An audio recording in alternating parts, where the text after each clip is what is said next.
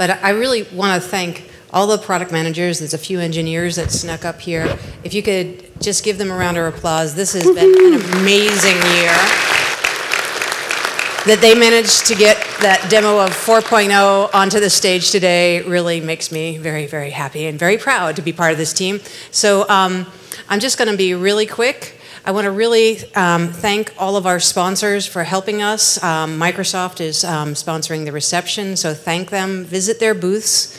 We are going to have a few more um, coming up soon OpenShift Commons gatherings, one in London on January 30th, another the day before um, Red Hat Summit in May. Then we'll be the day before again in Barcelona before KubeCon.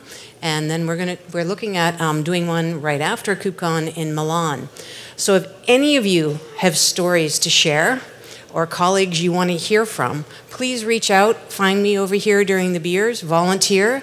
If any of you don't want to stand on stage and want to do something virtually, um, or if there's a technology you want to hear more about, please reach out and um, find us. It's commons.openshift.org, and um, we'll just open the floodgates and get that information to you and let you be part of the fire hose. So again, I know there were 25 other competing events today, um, and I really appreciate you guys coming, sharing your stories, and um, taking part in today. So thank you very much. Give yourselves a round of applause. This was awesome.